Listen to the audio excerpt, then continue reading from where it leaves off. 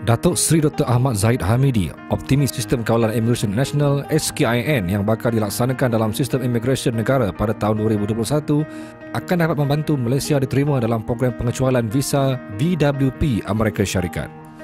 Timbalan Perdana Menteri berkata, menerusi pelaksanaan SKIN, ia akan membantu Kementerian Dalam Negeri KDN dan agensinya untuk menangani jenayah rentas sempadan dan aktiviti perdagangan manusia dengan sistematik secara bersepadu kerjasama pintar ini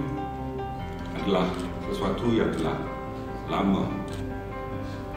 dihidangkan kepada masyarakat oleh Yang Amat Berhormat dan Menteri untuk melihat supaya kos perbelanjaan kerajaan tidak ditambah. Kedua, kerajaan akan dapat menambah keberhasilan kutipan pendapatan ketiga ianya tidak membebankan secara langsung kepada stakeholders